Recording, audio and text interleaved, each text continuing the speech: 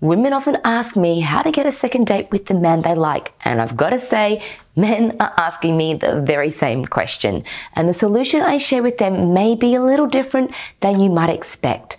For example, have you met up with a guy you matched with online, you had a phone call before meeting, and it was great. He was engaging and interesting, but when you met up in person, it was quite different.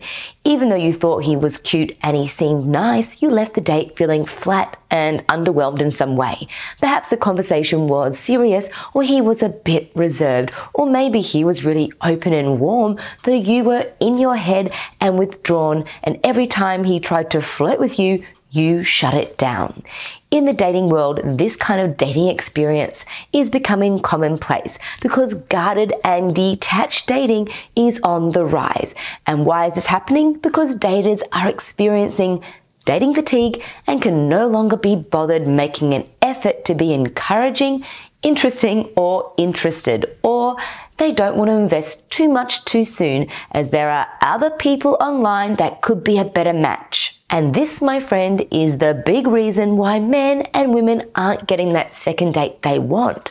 But encouragement is required to ignite an emotional connection.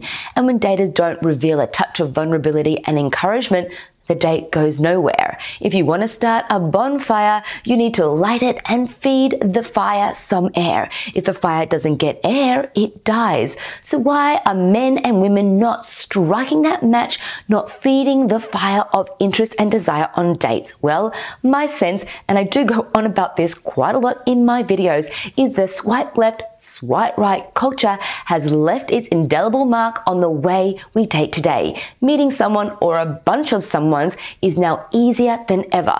Because of this, men and women both go on first dates without being mindful of whether they're making the other person feel like they genuinely want to establish a deep connection with them. It's an easy come, easy go kind of mindset. And what's the end result? They both head home after the date and instead of flirting and firing each other up in some way, they go and fire up their dating apps and start talking to another online match because they didn't quite feel enough of a connection with the one they were just on a date with. Both men and women are approaching dating with a detached mindset, and this is precisely why you're not getting a second date and a good chance why you're not feeling it on a first date. Stay with me as I show you how to break free of this mindset and get to know a man beyond the first date that leads to a loving and compatible relationship.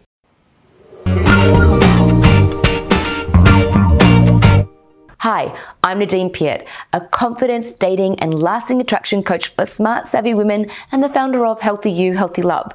Now, before we continue, please be sure to comment below and let me know if there's anything specific that you'd like help with and if there's a topic you'd like me to do a video on. I want to find out who you are and what your needs are so I can support you on your path to big, sexy, and united love. And if you're new and haven't subscribed to my channel yet, please click the subscribe button and the bell button to get notified of my next video. So here's a little truth bomb. The men you were on first dates with those who didn't call you back or didn't want to go on a second date with you, most of them, if not all, want to be in a loving and lasting relationship just like you. But for many people, the very idea of giving someone a practical stranger a glimpse of who they really are breaks them into a cold sweat. Even when genuine attraction is felt, many daters are not truly being open to love and the possibility of this person being a match. So if you're approaching first dates like a wary animal, wondering if it's safe to eat the food in front of you, then keep watching. Because if you want to get that second date, then someone has to have the courage to break this disengaged cycle. Someone has to be a little more vulnerable and open to trigger or inspire a deeper connection. And to do that, let's start with the most important factor accept that vulnerability is not a bad thing. Vulnerability is the only path to true intimacy. I know, I know, it's common sense, isn't it? If vulnerability is the problem, then all you have to do is be vulnerable. Easy peasy. Unfortunately, this is one of those things that is easier said than done, though it doesn't have to be, because vulnerability on a date is not about revealing every secret you have or laying down all of your past hurts and traumas. No. During the early stages of dating, simply revealing that you may be attracted to someone or that you like someone, even just a little, is all that is needed. But more often than not, men and women are trying so hard to be confident and in control on a date that encouragement is getting lost to fear and insecurity. Revealing some vulnerability with a man does not mean you're going to marry him. You don't have to be 100% sure that he's your match all you need to know is if you're attracted to him or like him enough to have a second date. If that's what you would like, then it's important to throw that detachment out of the window.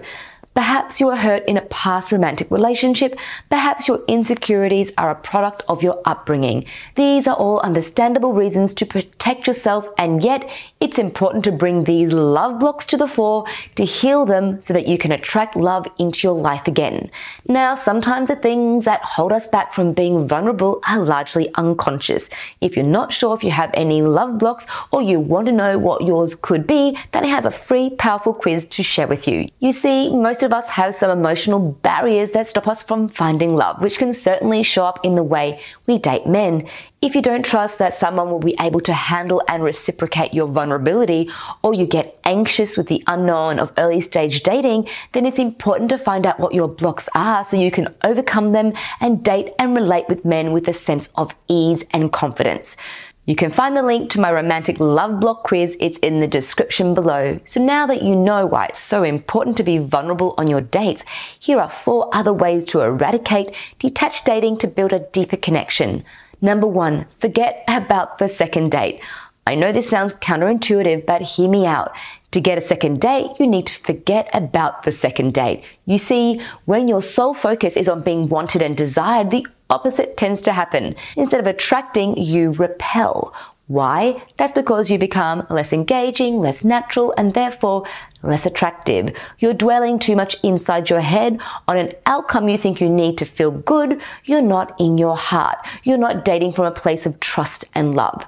Men can sense this. When you're in your head in judgment, whether you're judging your date or yourself, your energy is very cranial and analytical. This blocks vulnerability, creates detachment, and stops a connection from forming. In fact, I have a whole module in my Unlock His Heart program called the Apple Pie Technique, where I explain in detail exactly how to show up with a man in your heart, making you instantly magnetic to him. Now, this brings us to the second thing you need to do be present. When you're on a date, be present. Be in the moment. This is the time to get to know the man sitting across from you and for him to get to know you. When you're on your first date, be there. Listen to him, look him in the eye, give him your 100% attention. Don't be on your phone unless it's necessary, and don't look around at other people too much. These tips may sound small and yet they can ignite a new connection. Also, humans like to feel seen and valued because this feels good and most people want to spend time with someone who they feel good around. I know holding some eye contact and being present can feel vulnerable because the more present we are, the more intimate the interaction is. Don't run from this. Go with it. Just keep breathing and connecting. The third thing you can do on your first date is be vocal with admiration. People often find it easier to voice out criticisms, but it takes a lot of practice to speak words of appreciation and admiration. If you're not used to complimenting a man, start practicing as early as the first date. Being vocal with admiration is actually a form of being vulnerable as well. So compliment him on his clothes, his work achievements, his life goals. Let him know he makes you laugh or that he's a gentleman for paying for lunch or opening opening the door for you. Acknowledge acts of kindness or let him know you respect something he has done.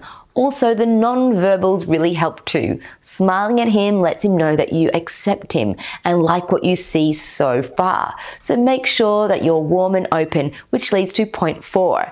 Rejection is part of dating. Detached dating is often driven by a fear of rejection or a fear of liking someone, letting them know, and then not having them respond or desire you in the same way.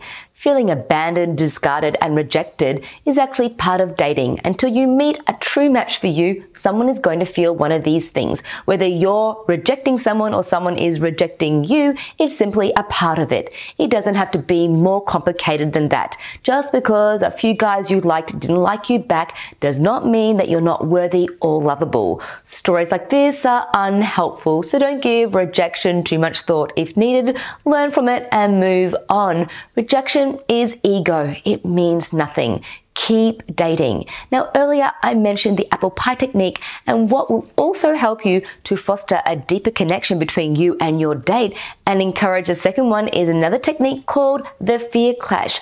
Most people run away from love and commitment because of fear. Not only do men suffer from fear, women do too. In Unlock His Heart, I expose how to eradicate fear to build a heart connection fast, even on date one. The link to my Unlock His Heart program is right below in the description. Well, that's it for today's video. We've established that detached dating is not for you. It's time to start dating with some vulnerability and confidence to attract the love you desire. Have faith that your special man is out there and be encouraging to strike that fire. If you haven't yet, please subscribe, comment, and give this video the thumbs up. And please share it with a friend who needs help with getting that second date. It's been a great honor to have you here with me. I encourage you to choose to show love a little more in some way every day and see you again at my next video.